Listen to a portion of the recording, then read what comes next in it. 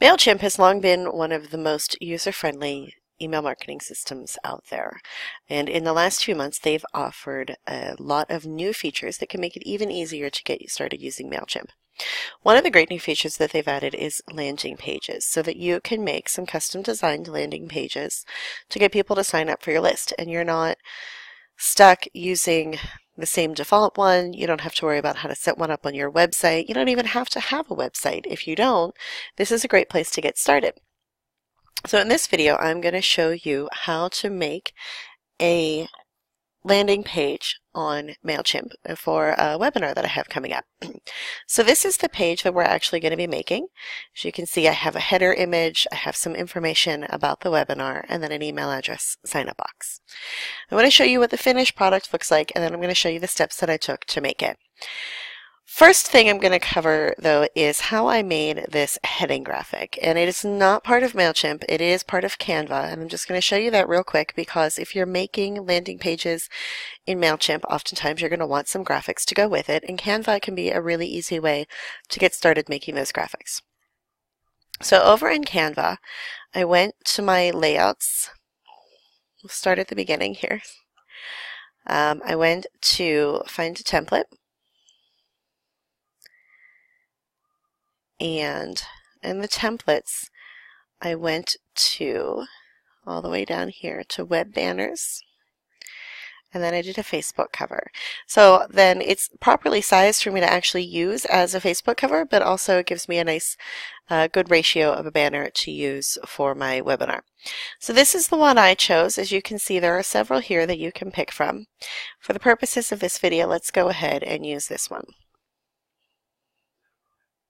So we click on it, we're going to say edit this template.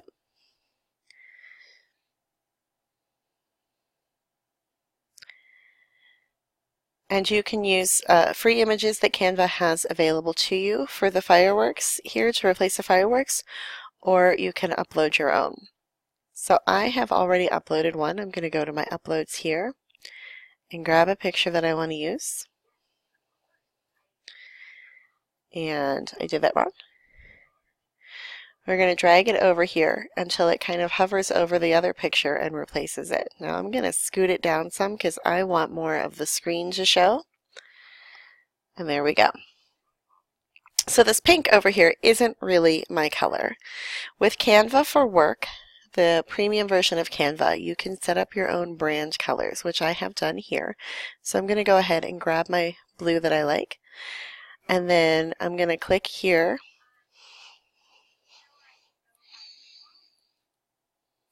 and start shaping in what I want these things to say.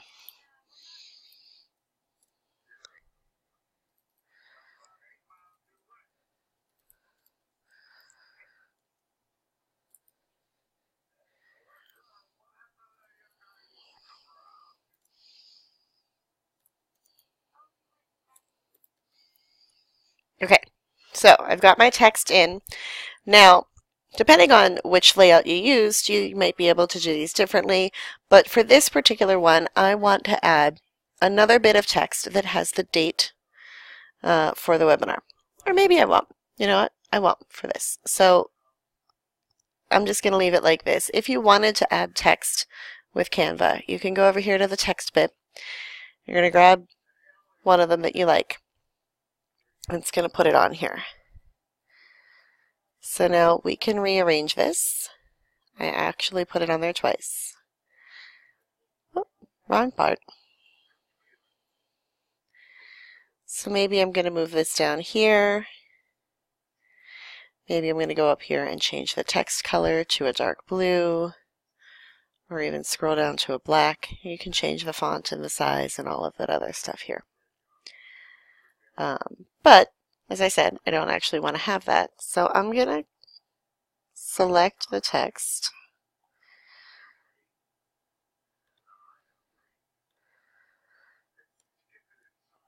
And just delete it. If I can select the right part. We'll just do this trash can up here. Delete, L oh, delete group. There we go. Alright, so now I have my cover image. I'm going to go ahead and download it.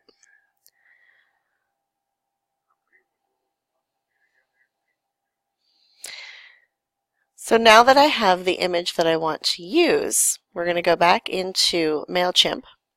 And to start the landing page that we're going to make, we're going to go to Campaigns. And we're going to go to Create a Campaign.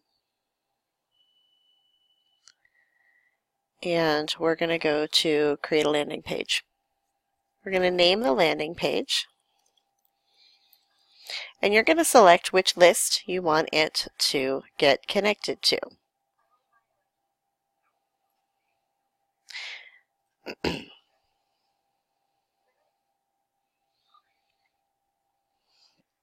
and then it will take you to the editor. I'm going to remove, replace this logo bit up here. So I'm going to click replace there and I'm going to upload my graphic that I just made.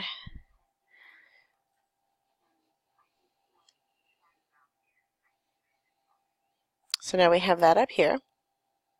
We can look at the settings and we can make it go edge to edge.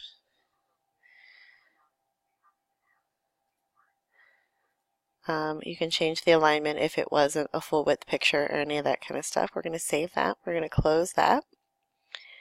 And then we're going to go here. So this is the title or the heading for it.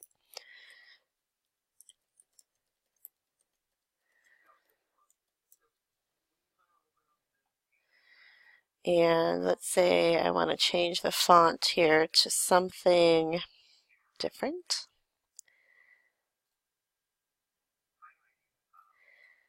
And then I can click down here and add some information about the webinar. Oops. And then we're going to go down here and we're going to pick what we want the button to say. You can choose the font. So I could go back and pick, I can only pick certain fonts here. You want to make sure it's easy to read. You can change the text color uh, for here, for the field, and the colors for the button. So I like that, and then I'll do a green for the hover state. So when it's hovered, it's green. And do you want it to, we'll check on the alignment. Okay, the last thing is for this particular list that I have it connected to, the double opt-in is turned on. And it will require new uh, subscribers to check their email to confirm their subscription. So what it's going to do is when they get that, it's after they submit it, they're going to get this message, the almost finished, confirm your email. So it tells them to go check their email. So you can see what that looks like. but if we're all set, we're going to go ahead and hit save and close. And let's see, what other design options do we have? So page will be for this whole page. We can change the background color, which right now is a light gray. You can also do a whole background image. I don't know that I have an image big enough to actually use, but we'll use this sushi one as a demonstration. So we have a nice big background image there. Um, and you see lots of styling settings there we can go look at the header.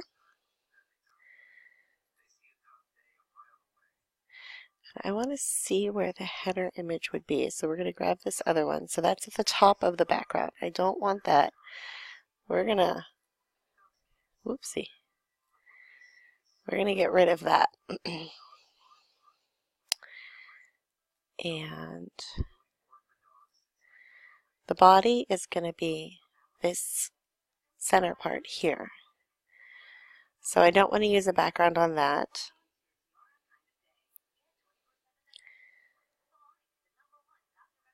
And so we're just looking at all of the settings that are available here.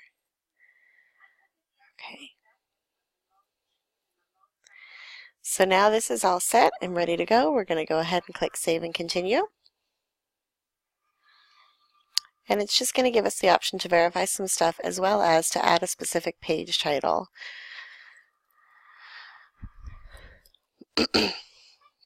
that will appear up here in the browser bar. So like this is landing pages MailChimp, that's the page title. So whatever you want it to say, um, you know, we can make it say join me for this webinar. And as you see here, it's going to make that as part of the URL. So you can edit this, but you're only able to edit the text part. This number that's generated randomly in here, we can't edit. So we're going to go ahead and click Save. Verify the list and the content that you want it to go to, and everything is good. So we're going to go ahead and click Publish. And we're going to confirm one more time.